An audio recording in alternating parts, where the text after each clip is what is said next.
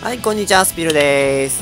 今日はですね、キャンプ場紹介ではなく、ちょっとしたね、えー、団体行動の取り方をと、えー、作ってみようかなと思って動画を撮っていまーす。はい。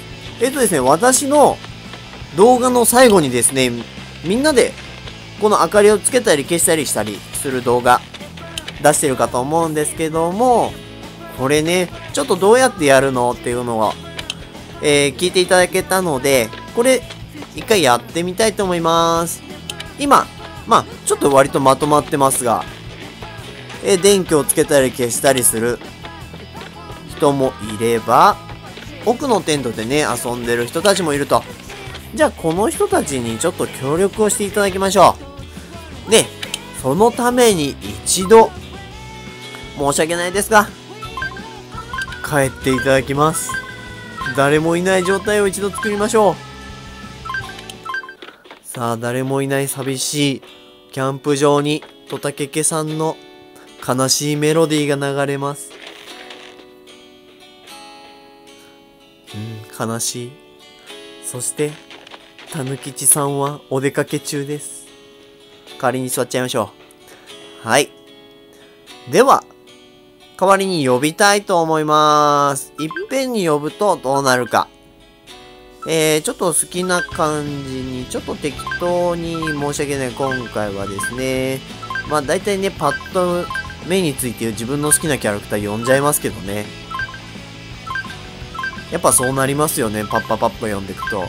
本当はね、あの、いろんな素材をくれる人で分けた方がいいんでしょうけど、まあまあまあまあ、今回はこれで。では、OK ボタンを押してみてどうなるか、やってみます。はい。どうなるでしょう団体行動を取ってくれるかな？どうでしょうこれ時間によっても違ったりしますからね。はい。えー、結果全然ダメでした。一人もいねえ。さあ、残念ながらですね、今回、誰も電気で遊んでくれる、えー、動物さんはいませんという結果になりました。ある？こんなこと。テントにすら誰もいない さあ、えー、これですね、多分時間だと思うんですけど、えー、こういうアイテムで遊ぶ動物たちもいれば、えー、こうやって外でね、思い思いの行動をとる動物もいるという、ちょっと時間で分かれるかと思うので、またね、時間変わったら、撮り直しをしたいと思います。